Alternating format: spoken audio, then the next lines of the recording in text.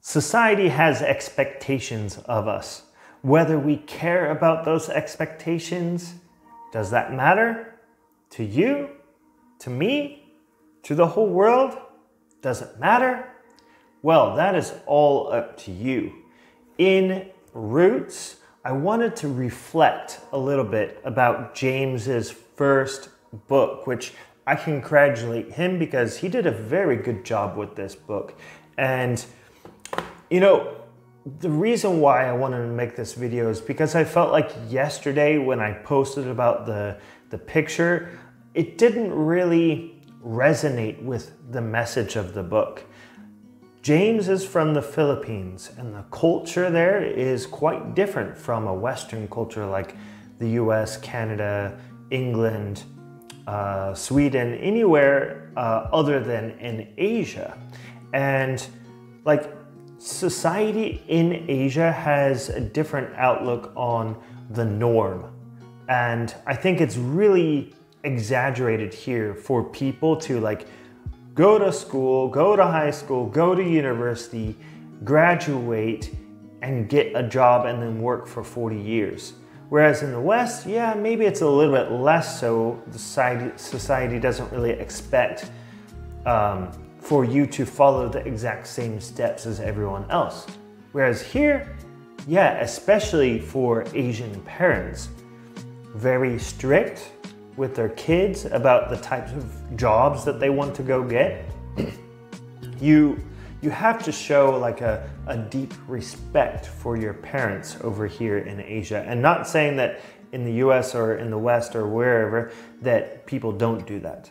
But here it's it's a really big deal to show respect to your parents.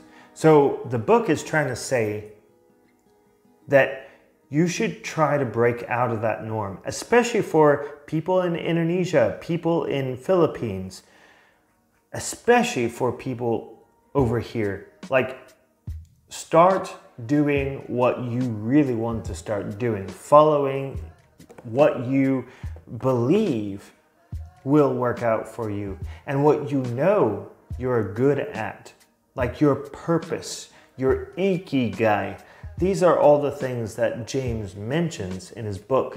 He also mentions about having a stable mindset, being mindful, having meditation as part of your routine. Um, yeah, so these all these things are actually not so new, but hearing it from the perspective of a guy that lives in the Philippines is different. And that's what I like about this book.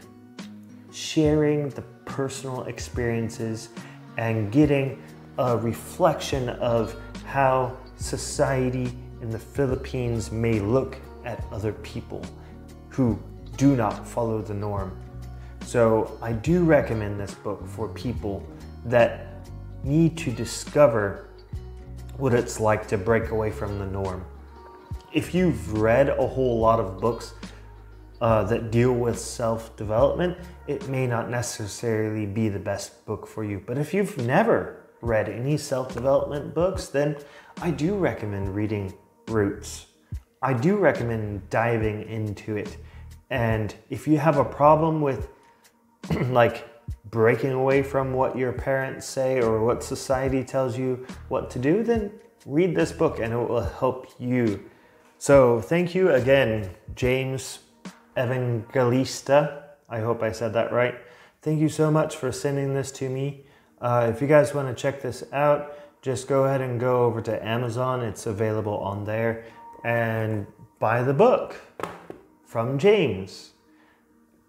Uh, find out his his secrets to life and success and greatness.